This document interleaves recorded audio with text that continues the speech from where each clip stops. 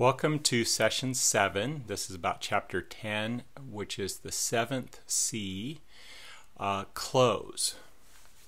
It is important for you to manage the exit carefully and not just assume that it will be okay.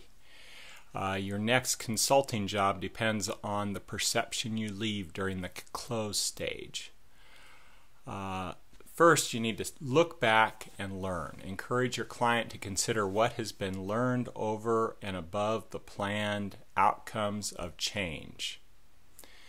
So, as part of this step, you ask some questions, and these questions are actually our discussion forum questions for this week. So, here's the questions What did we expect to happen?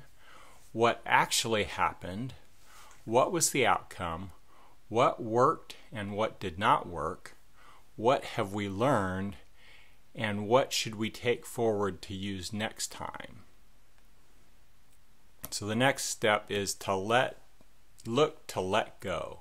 The onus is on you to ensure that at the point of departure all unnecessary levels of dependence ha have gone from all sides of the relationship.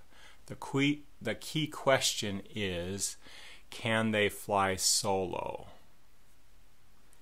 Next, look at the value. It is important to understand how the outcomes from the change can have tangibly delivered improvement to the operation or commercial viability of the organization. So there are two aspects to the value management process. Number one is value management. Identify the area of the business value improvement that has been managed. And the second is value differentiation, counteracting the impact of value shift in the mind of the client and the customer.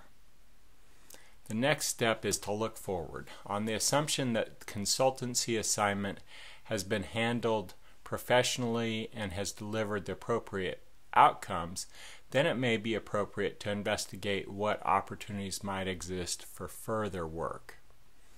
The best time to make a sale is the point when the customer voluntarily says how great the previous product or service has been.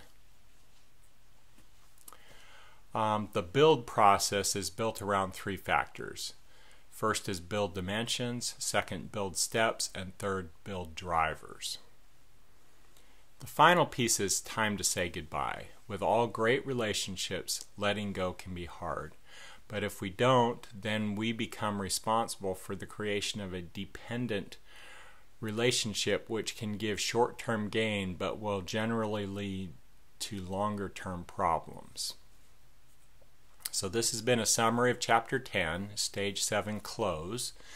This week, you should turn in your draft final report. This is an opportunity for you to demonstrate in writing the value your consulting has brought to the organization and this is really part of the close process.